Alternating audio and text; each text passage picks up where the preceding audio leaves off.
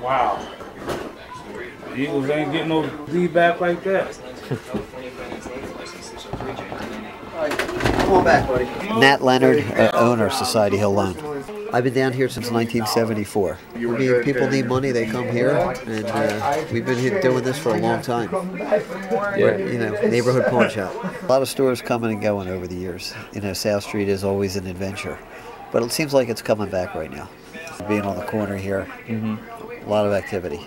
What would you say, I guess, is your most common kind of business transaction with people? Jewelry or music? Jewelry or music? Yeah, jewelry or music. Okay. Yeah, what you see in here, you know, we take everything. Yeah, anything that we can, we know that we can move, we'll take. People can borrow money on items of value when they have six months to come back for it. Where did you Okay. And you can pay it back off and Yep. get it back. So recently they had the Spring Festival in the city. Uh, Does that, do you guys do anything special for that? We do not, but the street obviously was very busy. Yeah. Our customers are people who need money, so it's not like we can set a booth up outside, you know? Do you get a lot of regulars that come in? Is Yeah. like a lot of the same people? A lot of the same people, yep, come in, borrow money, paycheck to paycheck.